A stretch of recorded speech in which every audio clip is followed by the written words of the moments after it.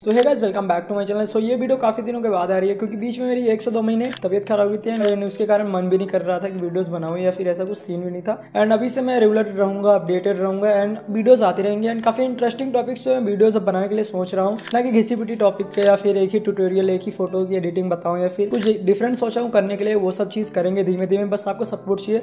सो support बना के रखना, अभी काफ़ी दिनों के बाद कम कर रहा हूँ. सो इसलिए अभी सपोर्ट अच्छा दिखाना एंड आपकी ज़रूरत है मेरे को अभी. तो हमने देख के समझ गए होगे कि आज इस वीडियो में फ़ोटो एडिटिंग के बारे में बात करने वाला हूँ। एंड कुछ ये फ़ोटो थी, इस फ़ोटो को मैं रिसेंटली इंस्टा पे पोस्ट किया था। फ़ोटो की जो टोनिंग है वो काफ़ी लोगों को काफ़ी ज़्यादा पसंद आई है एंड उन सबका डिमांड था कि इसकी ट्यूटोरियल लाओ एंड कैसे आपने अपनी फ़ोटोज़ में इसको एडिट किया है। सो वो सब बताने वाला हूँ एंड सेम टोन अचीव करना चाहते हो सेम टू सेम मतलब आपका जो बैकग्राउंड होगा, अगर उसमें ग्लास वगैरह होंगे, जैसे मेरे इस फ़ोटो में तो वहाँ पे ये टोन काफ़ी ज़्यादा परफेक्ट लगेगा एंड जितना ज़्यादा हो सके बैकग्राउंड से आप दूर होकर फ़ोटो क्लिक करना बैकग्राउंड में काफ़ी ज़्यादा डेप्थ आएगा एंड बैकग्राउंड ब्लर रहेगी तो उसमें काफ़ी अच्छे से आप टोनिंग वगैरह क्रिएट कर पाओगे। एंड आगे की बात हम लोग किसी और वीडियोज़ में करेंगे एंड वो सब एक्सप्लेन करेंगे। एंड यहाँ पे आपको एक जी मेल या फिर नीचे आपको दिख जाएगी उस आईडी पे जाके अपनी फ़ोटोज़ आप लोग सेंड कर सकते हो एंड नेक्स्ट वीडियो में आप लोग पार्टिसिपेट कर सकते हो। जिस भाई की फ़ोटोज़ अच्छी होंगी या फिर डिफरेंट होंगी कुछ तो उन फ़ोटो को मैं पिक करूँगा एंड उनकी ट्यूटोरियल बना के डालूँगा एंड उनको मैं एडिट करने वाला हूँ कि कैसे आप अपनी फ़ोटोज़ को डिफरेंट टाइप में एडिट कर सकते हो। एंड वहाँ से आपको एक आइडिया हो जाएगी कि आप लोग फ़ोटोज़ मैं कैसे एडिट करता हूँ एंड कितना ज़्यादा डिफरेंस है एंड क्या चीज़ मैं करता हूँ एंड क्या गलती आप लोग अपनी फ़ोटोज़ में करते हो। सो so, जीमेल दिख जाएगा जीमेल में जाकर जल्दी जल्दी अपनी फ़ोटो सेंड करो एक से दो दिन के अंदर आपकी वो वीडियोस अपलोड कर दूँगा एंड आप लोग उससे सीख सकते हो। सो so, आगे की बात हम लोग चलते डायरेक्ट अपने स्क्रीन पर वहाँ पर करेंगे क्योंकि ज़्यादा बात हो गई है एंड काफ़ी दिनों बाद आया हूँ इसलिए ऐसा कुछ सीन है बट आगे से ऐसा कुछ नहीं रहेगा। सो so, चलते रहेगा अपने स्क्रीन पर वहाँ पर देखते हैं आगे की प्रोसेस कैसे क्या एडिट करने हैं एंड बाकी वो सब चीज़। सो so, सबसे पहले मैं यहाँ पे स्टार्ट करने वाला हूँ कर्व टूल से। कर्व टूल से क्यों स्टार्ट कर रहा हूँ? क्योंकि कर्व टूल में काफ़ी ज़्यादा कलर होंगे एंड उसके बाद वहाँ पे काफ़ी ज़्यादा कॉन्ट्रास्ट ऐड होता है काफ़ी डार्क हो जाती है फ़ोटो शेडो वगैरह लॉस हो जाते हैं। सो so, वो चीज़ हम लोग कवर करेंगे उसके बाद कर्व टूल के बाद। सो so, यहाँ पे सबसे पहले हम लोग फ़र्स्ट नंबर पर आ जाते हैं। सो so, फ़ोटोज़ में हाईलाइट कम करने के लिए इसको हल्का सा यहाँ तक ये चीज़ नीचे कर लेते हैं। एंड ये चीज़ जो अपना होता है डार्क पार्ट सो यहाँ से अपनी फ़ोटो हल्का सा डी कॉन्ट्रेस्टेड लग रही है. इसको हल्का सा नीचे कर लेंगे. आप देख सकते हो काफ़ी ज़्यादा अपनी फ़ोटो बैलेंस हो चुकी है पहले से. सो ये चीज़ कुछ इस टाइप से करने के लिए यहाँ डायरेक्ट ब्लू कलर वाले टोन पे आ जाएँगे. एंड यहाँ से हम लोग क्या करेंगे? सिंपली थ्री डॉट क्रिएट करेंगे. जहाँ पे भी बॉक्स मीट हो रही है, वहाँ पे आपको डॉटेड्स क्रिएट कर लेना है. बस पहले स्टार्टिंग में कुछ इस टाइप की डॉट क्रिएट कर लो. सो यहाँ पे सिंपली मैं यस कप ड्रॉ करने वाला हूँ. काफ़ी ज़्यादा ईजी है. एंड इसका मैं प्रीसेट भी आपको नीचे दे दूँगा. वहाँ से जाके आप लोग डाउनलोड करके डायरेक्ट कॉपी सेटिंग पेस्ट कर दोगे. उसके बाद आपकी फ़ोटोज़ हो जाएगी. अगर आपको टाइम सेव करना है सो मैं सिंपली क्या करूँगा? इसको कुछ इतना रख लेता हूँ, इसको हल्का जूम कर लेता हूँ, क्योंकि वहाँ पे वाइट पार्ट है ना तो दिखेगा नहीं। सो ये चीज़ कुछ इस टाइप से कर लेता हूँ एंड इसको हल्का सा नीचे कर लेंगे, कुछ इतना। एंड ये जो पार्ट होगा, इसको हम लोग नीचे रख लेते हैं, कुछ इस टाइप से। एंड कुछ इस टाइप से ड्रॉ करने के बाद यहाँ पे मैं डायरेक्टली ग्रीन पे आ जाऊँगा एंड रेड पे आ जाऊँगा, क्योंकि अपना ब्लू का हो चुका है। ब्लू का हाँ समथिंग हो ही चुका है। इसके बाद यहाँ पे ग्रीन पे आ जाएँगे। हम लोग उसी टाइप से करने वाले हैं। इसको ऊपर रखेंगे।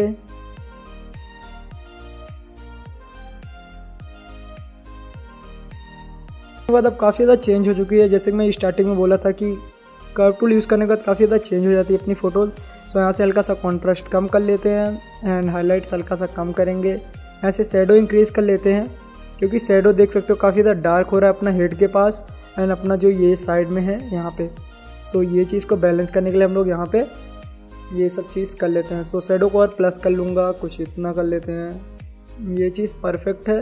ब्राइटनेस ज़्यादा हो गई है इसके कारण हम लोग यहाँ से एक्सपोजर हल्का सा माइनस करेंगे ताकि अपनी फ़ोटो ओवरऑल डार्क लुक में रहे एंड थोड़ा एंड वाइट्स को हम लोग कम कर लेते हैं क्योंकि अपनी फ़ोटो में काफ़ी ज़्यादा वाइट वाइट लग रहा है ऐसा कुछ सीन एंड यहाँ पे ब्लैक्स को हल्का सा बढ़ा लेते हैं क्योंकि फ़ोटो ब्लैक लग रही है। सो so, ये सब चीज़ आप बैलेंस करने का चीज़ होता है ताकि अगर मैं एक्सपोजर को डायरेक्ट कम कर दूँगा ना तो ओवरऑल हर एक जगह की एक्सपोजर कम हो जाएगी। सो so, इसलिए मैं व्हाइट को माइनस कर रहा हूँ क्योंकि सिर्फ़ वो चीज़ इससे कम होगी एंड यहाँ ब्लैक्स को इसलिए प्लस कर रहा हूँ क्योंकि अपनी फ़ोटो में जो भी ब्लैक पार्ट होगा सिर्फ़ वो चीज़ यहाँ पे ब्राइट होगा। सो so, इसलिए ये सब चीज़ आप लोग कर लिया करो। एंड इसके बाद हम लोग यहाँ पे जाएँगे टेम्परेचर पे। सो टिंट को मैं हल्का सा माइनस ही रखूँगा क्योंकि प्लस में तो अच्छा लगेगा नहीं। अब अपने हिसाब से देख लेना बट अगर सेम फ़ोटो होगी तो कुछ इस टाइप रख सकते हो। सो टेम्परेचर को हल्का सा प्लस रख लेते हैं ताकि हल्का सा डे लाइट की फ़ोटो लगे, ना कि रात में सूट हुई है कुछ इस टाइप का।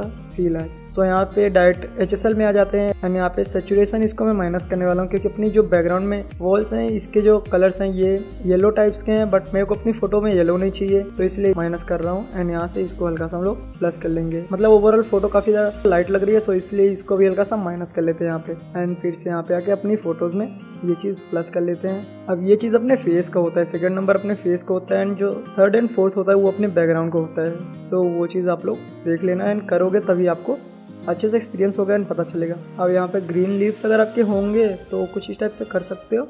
अगर नहीं होंगे तो कोई दिक्कत नहीं है। यहाँ से ये सब कलर माइनस कर देते हैं अपनी फ़ोटो में, है नहीं? सो डन कर देंगे यहाँ से। डन करने के बाद यहाँ पे आ जाएँगे। अब ये मेन अपनी सेटिंग होती है। यहाँ पे आपको ध्यान से करना है क्योंकि मेन यही इसी का खेल है। हल्का सेचुरेशन प्लस करेंगे एंड यहाँ से हम लोग अपनी फ़ोटोज़ में कलर लेके देखेंगे कि कौन सा कलर काफ़ी ज़्यादा परफेक्ट बैठेगा। कुछ ये कलर काफ़ी ज़्यादा सही लग रहा है मेरी फ़ोटो में। एंड यहाँ से सेचुरेशन आप लोग अपने हिसाब से प्लस माइनस कर सकते हो। वो आपके ऊपर डिपेंड करता है। एंड ये चीज़ जो होता है ना, ये सैडो पार्ट होता है। फॉर एग्जांपल आपके फ़ोटोज़ में जितने भी सैडो पार्ट होंगे ना तो ये उस पर बस कलर आएँगे। अब ये जो मिड टोन होता है अपनी फ़ोटोज़ की, जो मिड होती हैं, ये सिर्फ़ उस पर आएँगे। तो हल्का सा मिड टोन पे क्या होता है ना, अपना फेस भी कवर होता है। तो इसको हम लोग हल्का सा फेस की कलर टोनिंग के लिए मेनली इसको ज़्यादा यूज़ नहीं करना आप लोग, क्योंकि आपकी फ़ोटोज़ इससे खराब भी हो सकती हैं एंड फेस की कलर टोन खराब हो सकती है, वो चीज़ मेन होता है। एंड यहाँ से इसको हम लोग ऊपर की तरफ़ रख लेंगे। ये चीज़ परफेक्ट है। अब देख सकते हो, काफ़ी ज़्यादा टोनिंग अपनी फ़ोटोज़ में एड होना शुरू हो चुकी है। सो so, कुछ इस टाइप से हो जाएगा यहाँ से डन कर देंगे। डन करने के बाद हम लोग यहाँ पे कुछ आएँगे। हल्की से अपनी फ़ोटो में क्लियरिटी ऐड करेंगे।